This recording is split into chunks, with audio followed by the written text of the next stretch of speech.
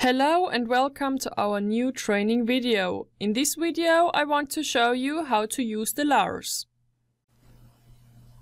LARS stands for LASAL Runtime System. LARS is a simulation tool where you can simulate the control as well as the visualization.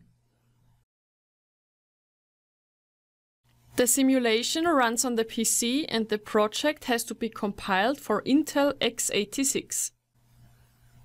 You can run LASAL projects with limited real-time and hardware requirements. The file system of the LARS will be set up on the PC on the C drive.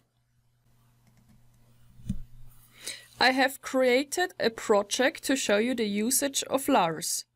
I named it LARS project and I place the classes timer underline on and the bridge. With the two classes we do a simple switch on delay. To load the project into the LARS, you have to start it.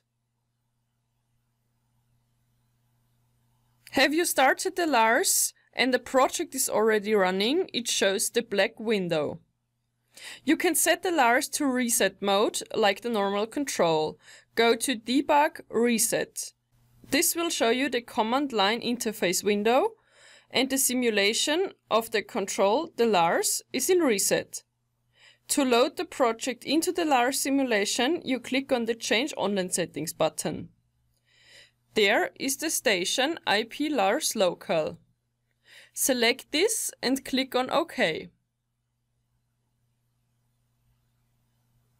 Have you set the IP LARS local station, make sure that your project is compiled for Intel x86.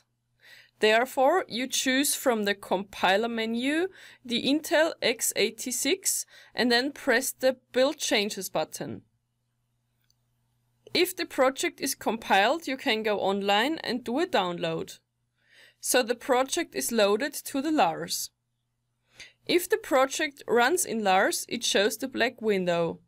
Set the LARS with debug reset in the reset mode and you will see in the status bar that also the project shows reset.